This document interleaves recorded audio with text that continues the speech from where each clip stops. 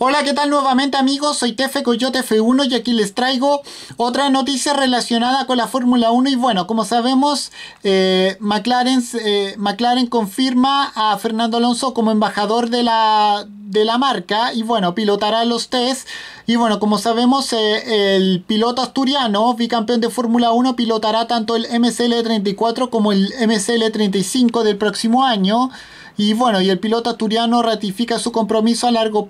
a largo plazo con, el, con la marca británica. Y bueno, eh,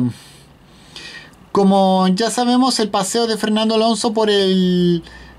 por el circuito de Cataluña durante esta pretemporada con ropa McLaren no pasó desapercibido por el gran público. Eh, bueno, que más allá de desear el regreso del piloto asturiano, que bueno, yo no creo que vaya a regresar, se preguntaba cuál era exactamente la relación del bicampeón de, de Fórmula 1 con el equipo McLaren. Y bueno, más allá de confirmarse su presencia como piloto titular de McLaren, de McLaren Racing para la para la edición de este año de las eh, Indianapolis 500, eh, Fernando Alonso también ratificó como embajador de McLaren Racing, lo cual muestra la gran relación que hay entre Fernando Alonso y el equipo que dirige actualmente Zach Brown. Y bueno, lo más importante, sin embargo, llega con la confirmación de que Fernando Alonso se pondrá no solamente eh,